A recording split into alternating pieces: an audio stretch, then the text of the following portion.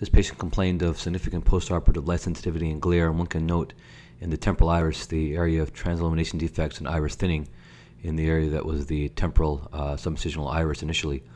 Um, the plan here is to uh, insert an in the bag uh, iris prosthesis to cover the area of the defect. And first, we're going to viscodissect open the capsular bag. In this case, pushing down on the optic simply with a Sinskey and injecting with a cohesive viscoelastic helps to separate the anterior capsule from the optic uh, edge itself. And when we'll do this um, in the uh, initially in here the inferior quadrant, and then inject uh, along the haptic itself here nasally. It's very important to free up that uh, haptic on either side to ensure mobility. One can then note we see that the nasal haptic is now freed up and brought up out of the capsular bag here into the anterior chamber.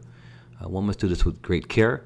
If the capsular bag uh, and fibrosis appears to be significant, one needs to viscodissect further or cut the haptic and uh, remove the optic. Here, the uh, temporal haptic is now uh, extracted from the capsular fornix and rotated around. And again, the viscodissection with manual separation as well with the cannula helps to do this. This is the uh, iris sector shield type 96F from Morcher. You see where we're going to be planning on placing this. Uh, with the IOL now in the anterior chamber, we'll inject this uh, iris prosthesis sector shield into the capsular bag very carefully after it's been filled with viscoelastic. And using a Sinskey uh, Kuglen here, and in this case, a curved tire, we slowly rotate the prosthesis into the capsular bag.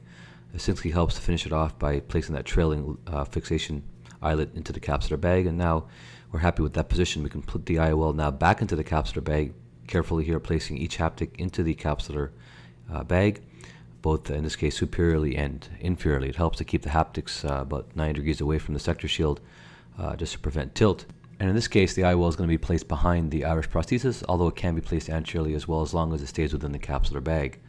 So now we see the prosthesis in position here uh, covering, uh, placed behind the transilluminated defects, covering the iris uh, defect nicely here, and uh, hopefully here preventing the stray light from entering the eye and causing uh, discomfort. An alternate strategy would have been to suture the iris in the area of the defect, although in this case we didn't have to touch the iris and simply reopen the capsular bag, Uh, atraumatically placing the iris prosthesis uh, in front of the IOL.